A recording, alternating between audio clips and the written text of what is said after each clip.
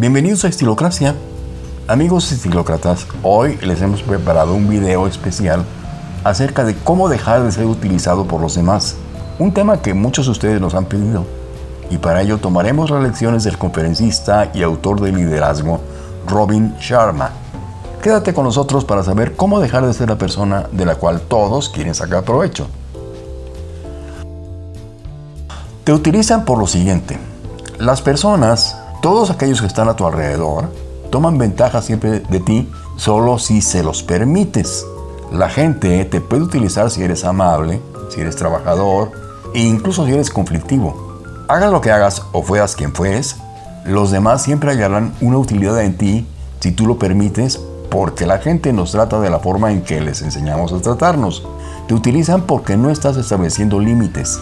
No sabes comunicar a los demás tus necesidades y tus disgustos por miedo a hacerlos enojar. Terminar una amistad o relación de trabajo para alejar a los que se aprovechan de ti es siempre será una ventaja. Ahora, ¿qué hacer si te utilizan?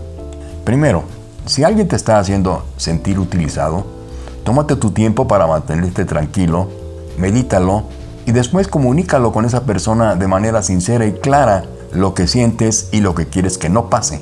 Todo de manera respetuosa y calmada para no caer en malos entendidos o discusiones innecesarias.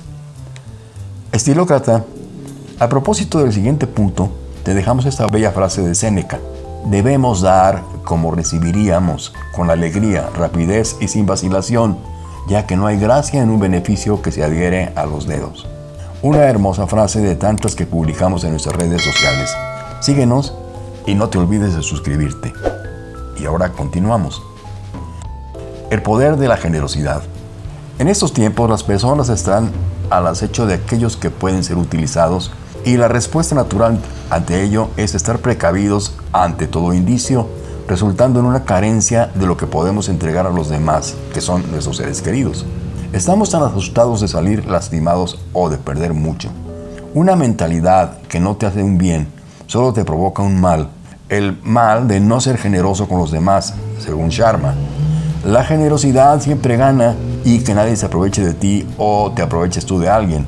Solo asegúrate de obtener lo que es debido. La generosidad se trata de un dar medido. ¿Qué tan generoso puedo ser con mis clientes, con mis amigos o con mi familia?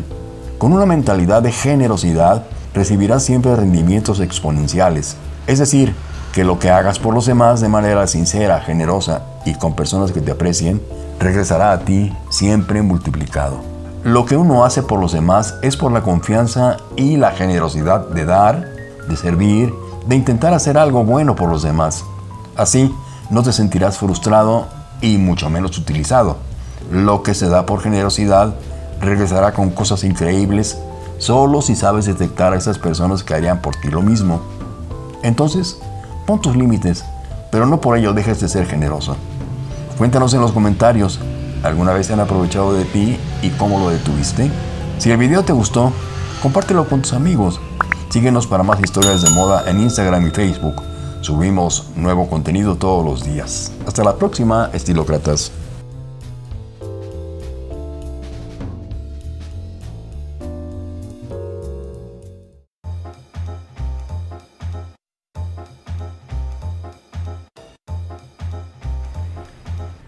Espinacas a la crema con camarones.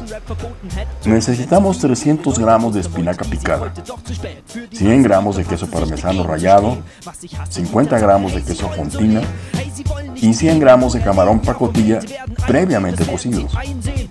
En un sartén agregamos la espinaca, los camarones, un poco de leche, crema, el queso parmesano y sal. Mezclamos y dejamos incorporar. Para degustar, podemos acompañar con pan.